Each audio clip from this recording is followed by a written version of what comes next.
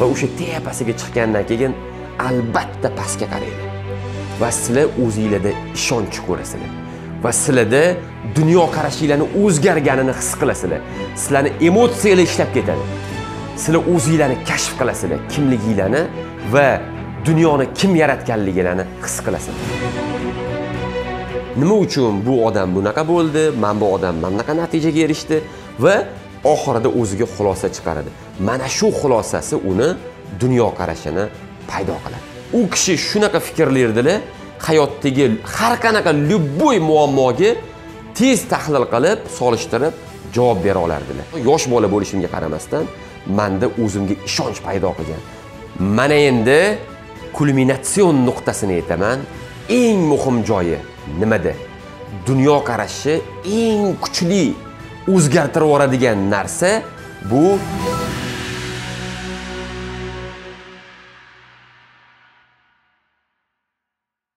assalomu alaykum aziz do'stlarim. Mana oldingi videomizda sizlar bilan dunyoqarashi shakllanishi haqida gaplashdik. Sizlardan ko'plab izohlar oldik. Sizlar ham o'zinglarni fikringlarni bildirdinglar. Insonni dunyoqarashi qanaqa qilib shakllanganligi o'zinglarni hayotinglardan gapirib berdinglar. Mana endi bugun dunyoqarashimizni o'stirish haqida gaplashamiz. Ya'ni dunyoqarashni qanaqa qilib o'stirganimiz ma'qul. Faqat ijobiy tomondan o'stirishimiz kerak. Ya'ni dunyoqarashni oldingi safar aytib o'tganimizdek ijobiy salbiy va befoyda usulda o'stirish mumkin va buni faqat ijobiy tarafi bizga foyda bo'ladi. Salbiy tarafi esa hayotimizni qiyinlashishiga hayotimizda muammoli va konfliktlar ko'payib ketishiga sabab bo'ladi. A befoyda o'stirish esa dunyoqarashimizni yopilib qolishi va boshqa rivojlanmasligiga olib keladi dedik. Bugun sizlar bilan dunyoqarashimizni ijobiy tomondan o'stirish haqida gaplashamiz. Buni o'n xil usuli bor. Ya'ni dunyoqarashimizni o'n xil yo'l bilan o'stirsak bo'ladi. Diniy bilimlarni o'rganish va oshirish orqali siz dunyoqarashingizni oshirasiz. Sababi bizni qadriyatlarimizga egamiz.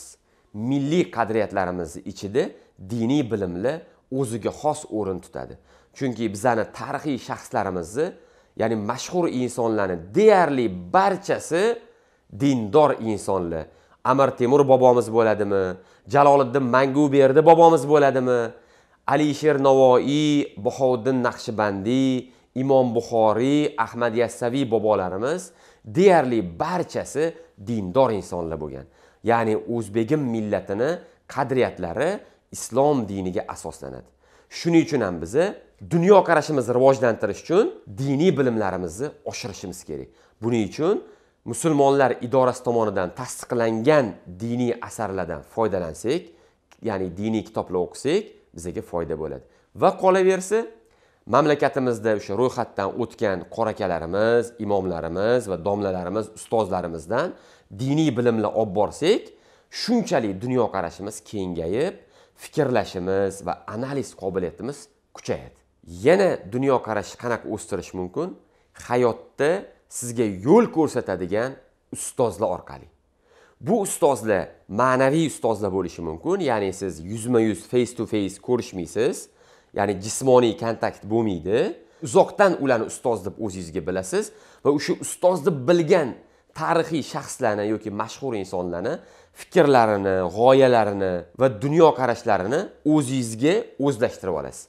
Bu qanaqa yo'l bilan bo'ladi? Bu siz birorta bir ulug' insonni gapini eshitib o'shani yoqtirib qolasiz va o'sha gapga hayotingizda amal qila boshlaysiz. Bu ham sizni dunyoqarashingizni o'stiradi. Yoki biron bir kuchli olimlarni imom domlalarimizni mashhur tarixiy shaxslarni fikrini eshitib o'sha fikrni o'zingizda takrorlaysiz va o'zingizni dunyoqarashingiz sifatida qabul qilib qolasiz.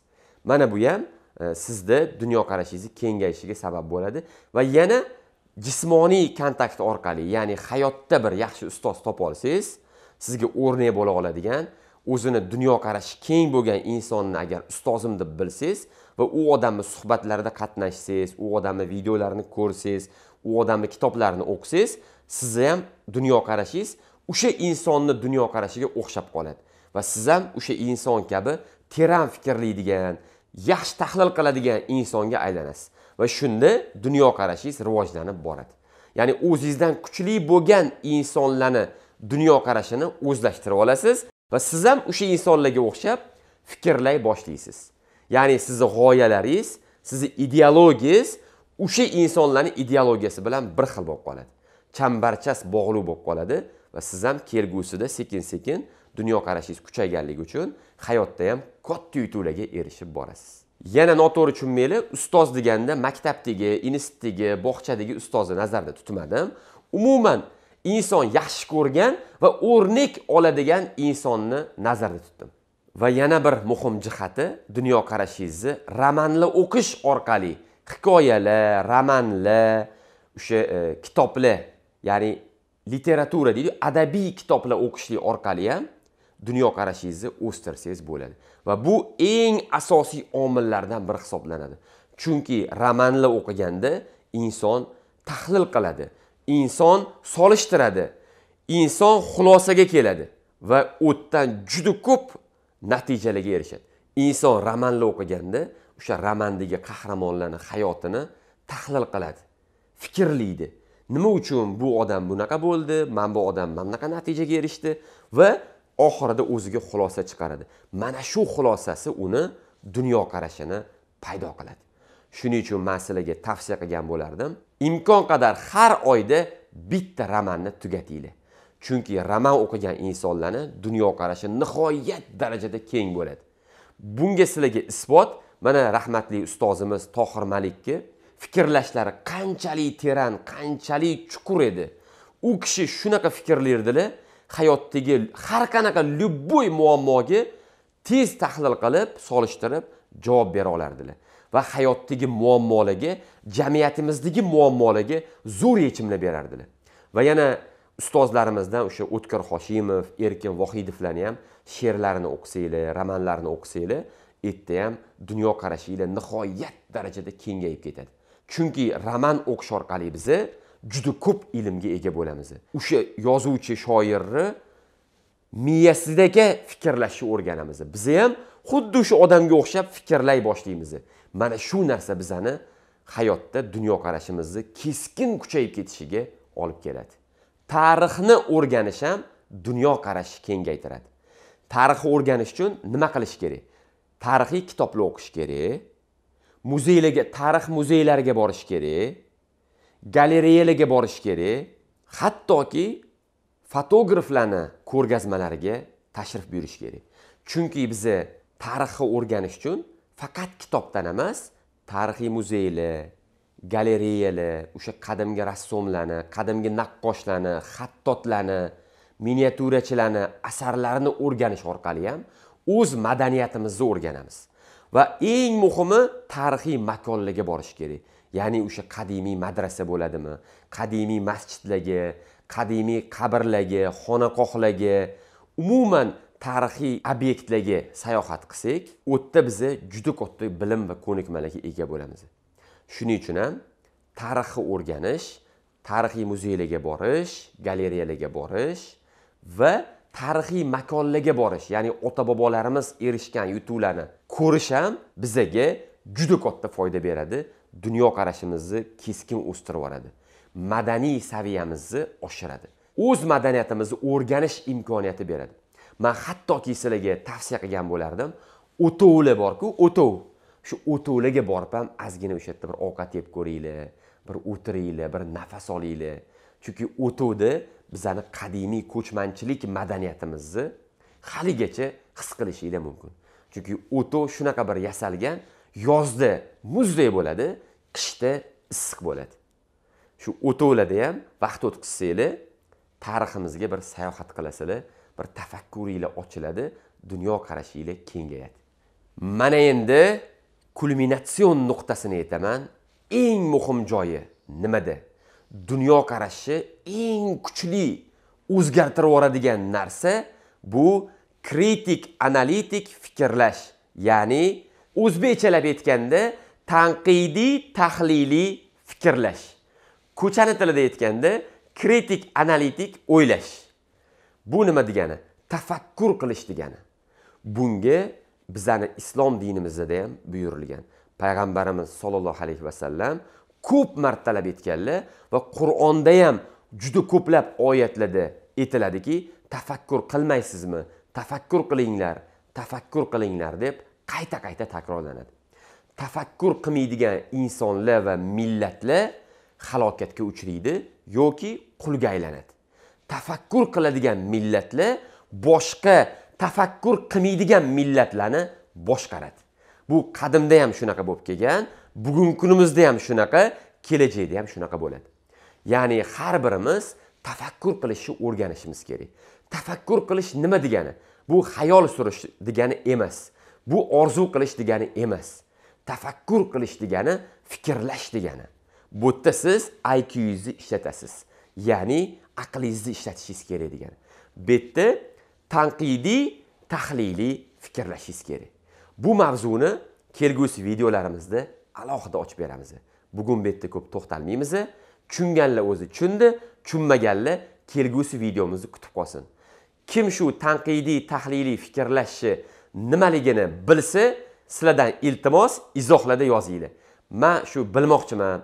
Kuzatuvchilarimiz orasida tanqidiy tahliliy fikrlashni biladiganlar nechi foizni tashkil qilishini. Izohlarda sizlarni tanqidiy tahliliy fikrlash bo'yicha ya'ni kritik analitik mishleniya bo'yicha sizlarni tushunchanglarni sizlardan kutib qolaman. Izohlarda yozib qoldiringlar. Mana sizlarga shuncha ma'lumotlar beryapman. Shu ma'lumotlar o'zi sizlarga yoqyaptimi? Yoqayotgan bo'lsa bitta layk bosib qo'yinglar endi. Man ham ko'ring samarasini demak mani gaplarim insonlarga yoqayotgan ekan deb yanada bir ruhlanib bundan ham ko'proq zo'r ma'lumotlarni sekretlarni sizlarga berib borishga davom eting. Bugungi kunimizda aktualniy bo'lgan yana bir jihati bor. Dunyoqarashni o'stirmoqchi bo'lsak bizni ijtimoiy tarmoqlarda dunyoqarashimizni o'stirib yuboradigan kontentlarni kuzatib borishimiz kerak. Buning uchun nima qilishimiz kerak? Foydali bo'ladigan videolarni ko'rishimiz kerak. Ya'ni shaxsiy rivojlanishga oid tariximizga oid adabiyotimizga oid diniy mavzularga oid yana bir bor takror aytaman. Musulmonlar idorasi tomonligidan tasdiqlangan video suhbatlarni kuzatib borishinglarni va dunyoqarashinglarni kengaytirishinglarni tavsiya qilaman. Endi ijtimoiy tarmoqlarda kontent judayam ko'p. U yerda nima ma'lumotlarni o'rgansangiz dunyoqarashingiz kengayishini kelgusi videolarimizda aytib o'tamiz. Agar bu borada o'zingizni ham fikrlaringiz bo'ladigan bo'lsa izohlarda fikrlaringlarni kutib qolaman va bir birimiz bilan fikr almashsak sizlarni ham dunyoqarashinglar o'sadi mani ham dunyoqarashim o'sadi. Chunki man doimiy ravishda dunyoqarashimni kengaytirishga harakat qilaman. Hattoki 12 yoshli o'g'limdan ham ba'zi bir narsalarni o'rganaman.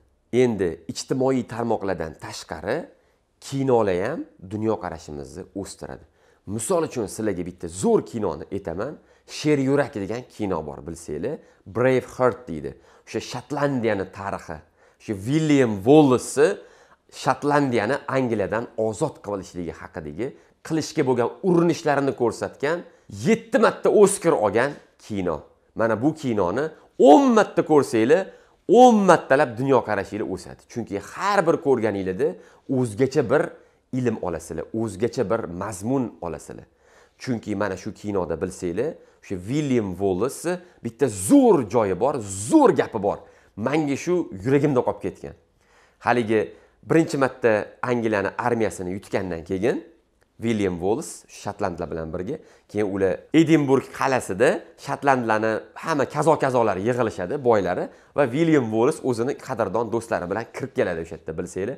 Va keyin shotlandlar talashib ketib qolishadi. Kim qirol bo'lishi kerak kim bek bo'lishi kerak kim yordamchi bo'lishi kerak. Anavi yer maniki bu yer saniki qilib talashishadi. Shu paytda William Wallace ensasi qotib ketadida. Keyin o'shani stol ustiga bir urib bolta bilan uni yordamchisi aytadiki manga qaranglar deydi bunaqa talashib o'tiradigan bo'lsa angliya bilan kim urushadi deydi. Shunda keyin ular nima deyapsan o'zi? San kimga yon bosasan? Qaysi qirolni saylaymiz hozir desa man qirol pirollaring bilan ishim yo'q. Man hozir angliyaga qarshi urushga ketyapman desa haligilar hammaligi tushunmadim. Angliyaga qarshi angliyani territoriyasida urushmoqchimisan deysa yorkka bosolmoqchiman deb aytadi. Shunda hammasi bir bir biriga qarashadida nomdor qarab va deb kulib yuborishadi. Keyin shu yerda william vollis jim turadida agar man angliya bilan ularni territoriyasida urushmasam ular hozir shotlandiyaga yana qaytarib bostirib keladi deydi. San qanaqa yutmoqchisan angliyani desa shundoq boraman bosib olaman deydi. Man shu yerdagi william vollisni jasoratini va maqsadini va o'ziga bo'lgan ishonchni ko'rganman. Mana shu kino yosh bola bo'lishimga qaramasdan manda o'zimga ishonch paydo qilgan. Chunki bizani ham millatimiz buyuk millat bo'lgan. Amir temur jaloliddin manguberdilar bo'lgan. Va shunaqa ulug' insonlar katta yutuqqa erishgan ekan. Shu shotlandiyadek bir kichkina bir joyda william volis shunaqa katta yutuqqa erishgan bo'lsa bizani millatimiz bundan keyin undan ham katta yutuqlarga erishadi deb o'ylayman. Ya'ni bu yerdagi william volisni qilayotgan harakati dunyoqarashini kengligida. William volis yevropani aylangan italiya fransiya germaniyani aylangan va dunyoqarashi kengayib ketgan ko'p bilimga ega bo'lgan inson bo'lganligi uchun ham u anavi shotlandiyani o'zida qishlog'ida yashab yurgan odamlarga o'xshab o'ylamaydi. U dunyo miqyosida fikrlaydi va shu yerda kritik analitik fikrlab endi bizani armiyamiz shotlandiyani o'zida qotib turaversak biz bir birimizni go'shtimizni yeymiz yana bir birimizni urishamiz. Va angliya kelib bizani bosib oladi deb fikrlaydi. Vaholanki biz birlashib turib angliyaga hujum qilsak angliyani esankiratib qo'yamiz mazasini qochirib qo'yamiz deb to'g'ri strategik xod qiladi va york shahrini bosib oladi. Va hattoki angliya qiroli yorkni yo'qotib qo'ygandan keyin majbur bo'ladi fransiyadan irlandiyadan velsh qirolliklaridan yordam so'rab katta armiya tuzib keyin urushga majbur bo'ladi. Shunaqa ekan teran fikrlash uchun kinolar ko'rish ham sizlarga foyda beradi. Dunyoqarashimizni rivojlantirish uchun mana mana shu brave hortga o'xshagan zo'r kinolarni ko'rishimiz kerak. Mana shu joyidan man yoshligimda juda qattiq ta'sirlanganman va o'zimga shu kinoni 15 marta ko'rib har safar yangi xulosalar olganman va xulosalarni kundaligimga yozib olganman. Hattoki miyamga quyib olganman va hayotimda ko'p marta bu strategiyalardan foydalanib katta yutuqlarga erishishimga sabab bo'lgan. Mana shu strategiyalar dunyoqarashimni shakllanishida katta o'rin egallagan. Endi titanik yoki hazrati umarni hayotlari yoki o'sha risolat payg'ambarimiz sallallohu alayhi vasallamni hayotlarini kinolarini ham ko'rsanglar sizlarga juda katta foyda bo'ladi. Bundan tashqari ko'proq mana bu kriminal kinolar detektivlar trillerlar bular ham insonlarni keyin psixologik trillerlar ham insonlarni fikrlashga majbur qiladi. Shu voqeani tushunmasdan qidirishni boshlaysiz. Ya'ni siz o'ylashni boshlaysiz. Mana shunaqa filmlar hattoki teatrlar hozirgi kunda ancha modadan qolib ketdi. Afsuski modadan qolib ketdi. Yoshligimizda biz teatrlarga ko'p borardik. Teatrlardan ham juda ko'p narsalarni o'rganardik. Teatrga borgan odamni nutqi rivojlanadi. Teatr va filmlar ham juda yam muhim. Hozir ko'pchiligimizda kino film ko'rishlarni yig'ishtirib qo'yganmiz. Sababi ular bir ikki soat bo'lganligi uchun hammamiz shu bir ikki besh minutlik video ko'rishga o'tib olganmiz. Bu narsa ham dunyoqarashimiz rivojlanishini cheklab qo'yadi. Shuning uchun faqat o'sha ijtimoiy tarmoqlarda aktiv bo'lmasdan kinolar ham ko'ringlar teatrlarga boringlar. Eski teatr lavhalarini ham qayta qayta ko'ringlar va kinolarni ko'rganinglarda o'zinglarga xulosa chiqaringlar. Aziz do'stlarim sizlar qaysi kinolarni ko'rganinglarda manga o'xshab shunaqa qattiq ta'sirlangansizlar. Shuni bilishni man judayam xohlardim. Hech qaysi kitobda yozilmagan lekin dunyoqarashimizga nihoyat darajada ta'sir qiladigan bir muhim xususiyat haqida gapirmoqchiman. Bu nima? Bu balandliklarga qirlarga tog'larga chiqish o'rmonlarga borish daryolarni bo'ylarida o'tirish cho'llarga chiqish va cho'lda kechasi yolg'iz osmonga tikilib o'tirish. Mana shu narsalar ham dunyoqarashimizni kengaytiradi. Buni juda yam ko'p sabablari bor. Bugun aynan mana shu sabablarga to'xtalamiz. Nima uchun baland tog'larga chiqish aytyapman? Chunki inson baland tog'ga chiqqanda u qiynalib chiqadi u risk oladi u qo'rquvni yengadi. Va u tavakkal qiladi va u o'sha balandlikka chiqqanida u natijaga erishadi. U o'zi mo'ljallagan ya'ni o'sha baland tog'ga xohlayotgan tog'ini tepasiga chiqadi va o'sha tepasiga chiqqandan keyin albatta pastga qaraydi. Va sizlar o'zinglarda ishonch ko'rasizlar. Va sizlarda dunyoqarashinglarni o'zgarganini his qilasizlar. Sizlarni emotsiyalar ishlab ketadi. Sizlar o'zinglarni kashf qilasizlar kimliginglarni va nima uchun yaratilganliginglarni. Va dunyoni kim yaratganligini his qilasizlar. Shu tabiatga qarab turib tepadan tepadan tog'ni tepasidan pastga qaraganinglarda kimliginglarni va hech kimliginglarni sezasizlar.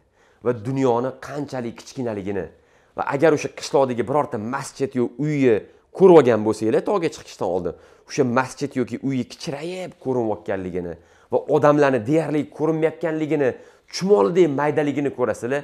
Va his etasizlar sizlar xudoni borligini tan olasizlar va ich ichinglardan his qilasizlar tepalikka chiqish insonda Allohga bo'lgan sevgisini, Allohga bo'lgan ishonchini kuchaytiradi.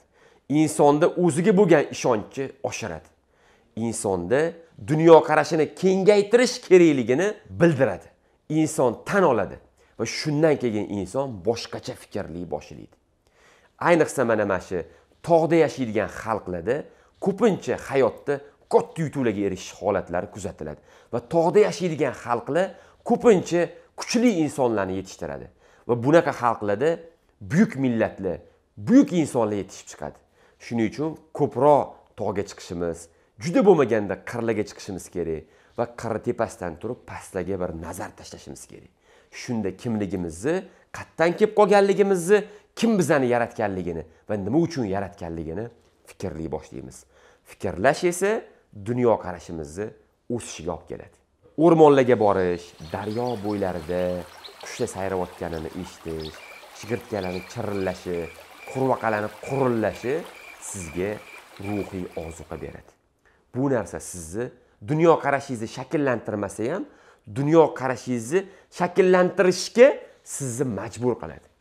Sizni dunyoga tabiatga nisbatan munosabatingizni o'zgartiradi. Sizni o'zingizga nisbatan munosabatingizni o'zgartiradi. O'zligingizni topishga o'zligingizni anglashga vasila bo'ladi. Cho'llarga borib shu cho'lda ayniqsa qorong'u kechada osmoni falakka nazar qilib o'tirsanglar shu yulduzlarni va ba'zi bir kunlarda va ba'zi bir taraflarga qaraganinglarda agar osmon musaffo bo'lsa o'sha kuni va oy kichkina bo'lsa ko'proq yulduzlar ko'riladi va hattoki somon yo'li galaktikasini ham ko'rishinglar mumkin. Ya'ni galaktikamizni o'sha chizuv bo'lib ko'p mayda yulduzlar holatida ko'rasizlar va bu sizlarni osmonga bo'lgan qiziqishinglarni oshiradi. Sizlarni bilimlarga bo'lgan qiziqishinglarni oshiradi. Bu narsa farzandlarimiz uchun ham juda muhim. Ya'ni farzandlarimizni o'sha cho'llaga olib borishimiz kerak. Safariy qilaylik. Albatta dubayga borib safariy qilish shart emas. O'zimizni buxoro samarqand navoiy cho'llariga borsak ham safariy qilsak bo'ladi va bu sizlarga ancha arzonga tushadi.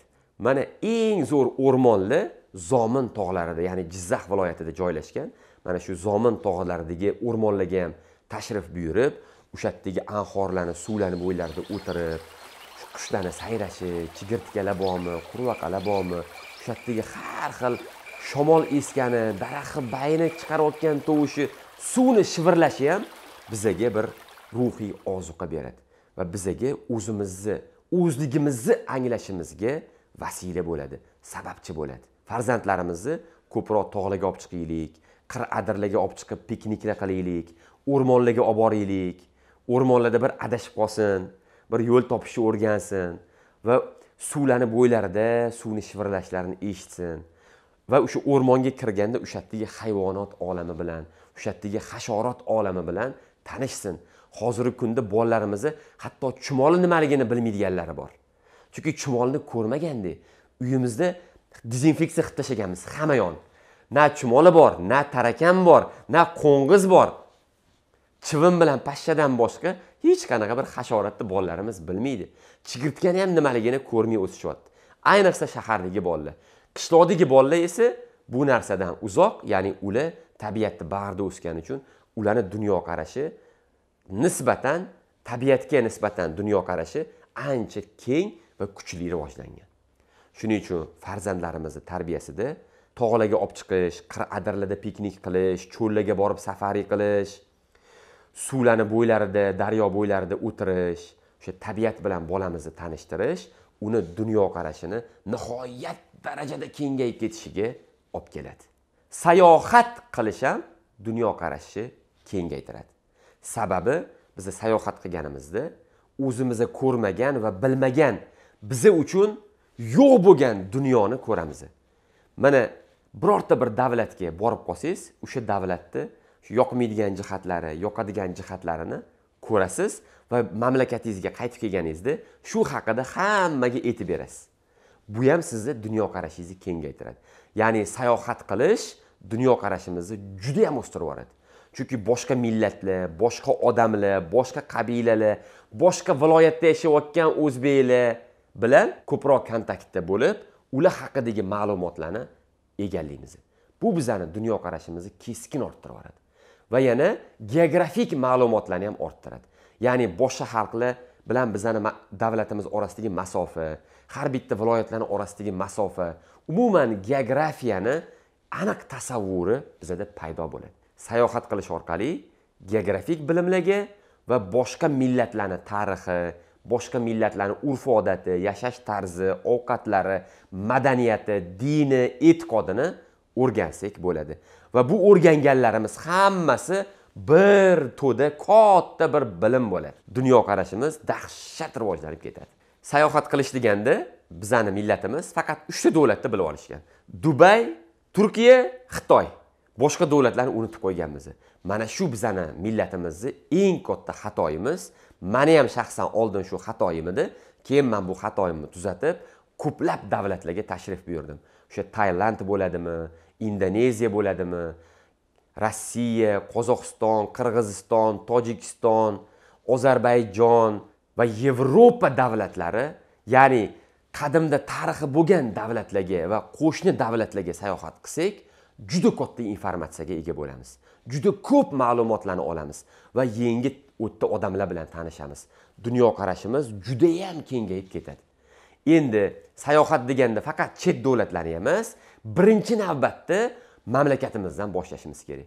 Mana misol uchun xorazmga xivaga nukusga hattoki mana mo'ynoqqa borganlar bormi? Manimcha judayam kam. Man xohlardimki dunyoqarashimizni kengaytirmoqchi bo'lsak o'zimizni viloyatlarga ham ko'proq sayohat qilaylik. Chunki o'zimizni viloyatlarda ota bobolarimizni erishgan yutuqlari va o'sha viloyatdagi yashaydigan qardoshlarimiz ya'ni millatdoshlarimizni urf odatlari boshqacha bo'lishi mumkin ovqatlari boshqacha bo'lishi mumkin. Yashash tarzida ozgina bir farqliklar bo'ladi. Biz shularni ko'rish imkoniyatiga ega bo'lamiz. Va qanchalik viloyatlarga sayohat qilsak bizni har bitta viloyatimizni yaxshi ko'ra boshlaymiz. Misol uchun xorazmda tug'ilgan odam faqat xorazmni emasda toshkentni ham samarqandni ham andijonni ham surxondaryoni ham yaxshi ko'ra boshlaydi. Chunki surxondaryoni o'sha boysun tog'lariga borganda u yerdagi manzaralarni ko'rib u yerdagi anavi kanyonlarni ko'rib hayratga tushmasdan iloji yo'q. Surxondaryo nihoyat darajada chiroyli viloyat. Lekin man o'zim hali o'sha kanyonlarga bormagan bo'lsam ham birinchi navbatda bu yil rejamga yozib qo'yganman bu yil surxondaryoga albatta sayohat qilaman va o'sha boysun tog'larini va kanyonlarni albatta o'z ko'zim bilan ko'raman. O'zimizni viloyatlarimizga ko'p sayohat qilishlik natijasida biza har bitta viloyatimiz bilan faxrlana boshlaymiz va bizada o'zbegim millati bilan faxrlanish tushunchasi paydo bo'ladi.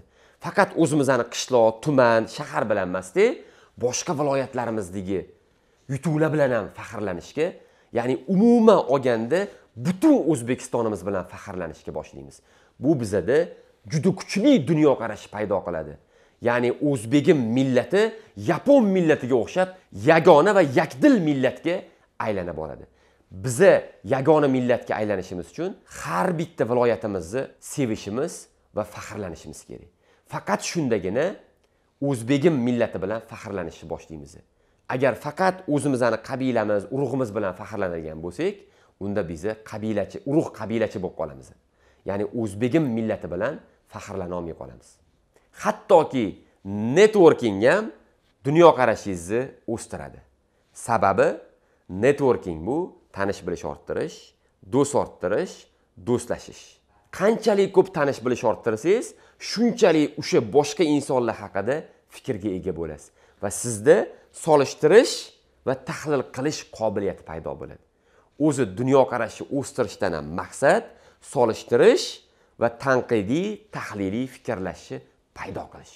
Do'stlashish mavzusi va tanish bilish orttirish ya'ni networking mavzusini kelgusi videolarda batafsil yoritib beramiz. Mana endi shu jihatlarga e'tibor qilib dunyoqarashimizni rivojlantirib olganimizdan keyin eng yuqori darajaga erishish uchun yana bir o'ta muhim va eng oxirida qilinadigan jihat bor. Bu narsa ensiklopedik kitoblar va falsafiy kitoblar o'qish. Bu narsa insonni dunyoqarashini nihoyat darajada kengaytiradi. Lekin ungacha bo'lgan etaplardagi kitoblarni o'qib ya'ni diniy bilimlarimizni shakllantirib olib tariximizni o'rganib millatimiz haqida tushunchalarimizni paydo qilib olib urf odatlarimizga amal qilib do'stlarimiz bilan tanish bilishlarimiz bilan ko'plab fikrimizni almashib o'zbegim millatini qadriyatlariga mos va xos insonga aylanganimizdan keyin bizni ensiklopedik va falsafiy kitoblarni o'qisak dunyoqarashimiz yanada shakllanib endi bir ulamo saviyasiga olim saviyasiga va insonlarga fikr bera oladigan faylasuf darajasiga chiqishimiz mumkin bo'ladi. Lekin bu yerda bir narsaga e'tibor qilish kerak. Faylasuflar va falsafiy kitoblarda bir qancha yo'nalishlar bor. Bitta misol uchun ateistik yo'nalish bor. Ya'ni xudoni tan olmaydigan faylasuflarni kitoblarini o'qisanglar sizlarni iymoninglar shubha ostiga tushib qoladi va sizlar to'g'ri yo'ldan adashib ketib qolishinglar mumkin. Shuning uchun avval dinimizni zo'r o'rganib tariximizni zo'r o'rganib milliy urf odatlarimiz va madaniyatimizni mukammal bilib olgandan keyin falsafiy kitoblarni o'qisak bo'ladi. Va falsafiy kitoblarda iloji bo'lsa islom faylasuflarini kitob o'qishni man tavsiya qilaman.